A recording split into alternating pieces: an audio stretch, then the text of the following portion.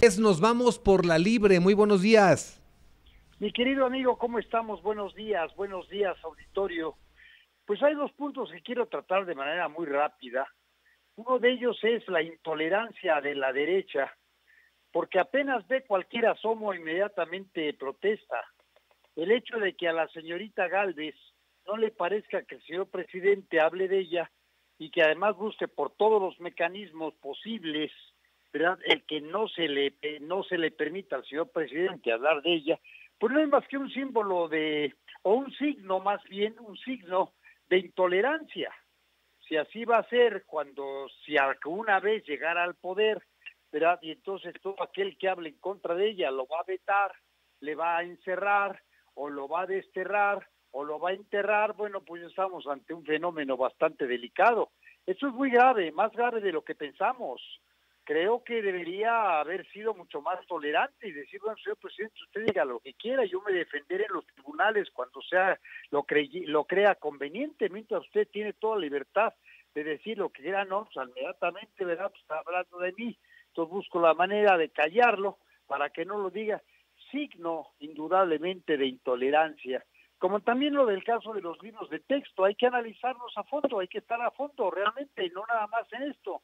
¿Por qué dice que el virus del comunismo es otra vez volver a la época de la Guerra Fría, la guerra en la cual este, este no ganó absolutamente nadie más que el temor en la población de que en cualquier momento a un par de locos se les ocurriera apretar los botones rojos y entonces la humanidad se acabaría haciendo válido aquel este aquel precepto que dejó Albert Einstein de que cuando le preguntaron cómo creía que fuera la tercera guerra mundial y la respuesta de él dice yo solamente les a decir que la cuarta será pedradas entonces acabarían con la humanidad aquí lo mismo dónde está el virus del comunismo ah porque en la en el primer párrafo decía co en el segundo párrafo decía eh, mu, y, así nos vamos hasta que se completara en los seis párrafos, siete párrafos, diez párrafos la palabra comunista o véanlo en, este como los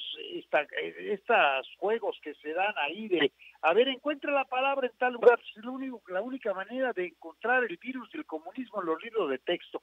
Es terrible es increíble que todavía se siga afortunadamente ya empiezan las voces y lo único que logró la derecha con esto es que el magisterio pensante, el magisterio de progresista, dijera, bueno, vamos a analizar los libros, vamos a tratarlos, vamos a buscarlos, ¿verdad? y vamos, además, hay una defensa, la defensa de los libros de texto gratuito como se hizo en el 60, como se hizo en el 70, 71 y como se ha hecho siempre. Ese es una. Y el otro tema que también es bastante delicado es la cuestión de las encuestas. Hay mil encuestas por todos lados. Cada quien tiene su propia encuesta y inclusive algunos, ¿verdad? Encuestadores se ofrecen a hacer encuestas por tal cantidad. Y entonces obviamente pues allá quien la quiera comprar. El que la compre sabe perfectamente que el primer lugar es él y que los demás están como abajo, ¿verdad? Si es que hubiera la escala de mil, eh, entonces no tiene ninguna validez. Yo la mando a hacer, no tiene ninguna validez, sabiendo de antemano por dónde van a irse las cosas. Y además ni me va a servir.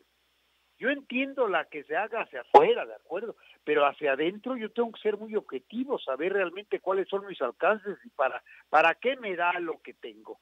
Pero la mejor encuesta es la que está en el, en el público. Cuando las personas te reciben bien, te atienden bien, cuando puedes hacer actos masivos y abrir las cámaras para que todo el mundo se dé cuenta de cuánta gente va, pues eso, ¿qué otra encuesta quieres? Allí están. Es cierto, hay algunos, algunos, como lo hacía Galloso y como lo hacen ahora por ahí este, dos personas del, del grupo de, de ¿para qué les digo?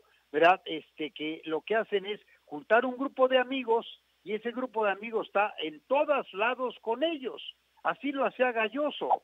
Eso se lo dijo, este, se lo dijeron algunos candidatos cuando se dieron cuenta, este, oye, pero nos va a ir muy mal en las elecciones. No, mira, tenemos plaza llena, sí, nada más te voy a decir una cosa. Estos que llenaron aquí en Temisco fueron los mismos que llenaron Cuernavaca, los mismos que llenaron Tlalzapán y que llenaron a Tlatlaucan. Son los mismos, no pasan de cinco mil. Entonces, ¿cómo quieren que compitamos con cinco mil nada más? Esa es la realidad. Y esa es la realidad de las encuestas también. Ojalá y hubiera realmente la encuesta magna, la encuesta maestra, para que quedara al frente el que tiene que quedar. Pero lo más importante, que quedara aquel que tiene conciencia de clase, aquel que tiene compromiso, aquel que entiende perfectamente lo que es transformar el país y transformar el país es estar al lado de los pobres, llueva, truene, relampagueo, tiemble, como sea, como quieran, estar al lado de ellos, sufrir con ellos, pensar con ellos, sentir con ellos, pero además buscar salir de ahí con ellos, acompañarles, sentir lo que ellos sienten, la falta de cosas, la falta de historia inclusive porque se les han borrado, le borraron la, la historia a los indígenas, le, le, borraron la historia a las mujeres, y esto lo hizo el neoliberalismo, lo hizo la derecha, la derecha de Galvez, la derecha del PAN, la derecha del PRI, la derecha del PRD. Ojalá las cosas cambien para bien de Morelos en el año de los 2024. Material humano hay y de sobra. En Morena hay de sobra. Es cuestión nada más de que los que entiendan que tienen capacidad vayan al frente y los otros esperen su oportunidad, que para ello hay más tiempo que vida y sobre todo si realmente quieren llegar al poder para servir, que sigan el propio ejemplo de Andrés Manuel 2006, 2012 y hasta el 2018. Y ahí está un gran presidente, que es lo que al final del cuento llegó en el momento justo, cuando la gente más le aprecia y cuando más se siente lo que le está haciendo. En fin, como siempre, vámonos y vámonos por la libre. Buenos días.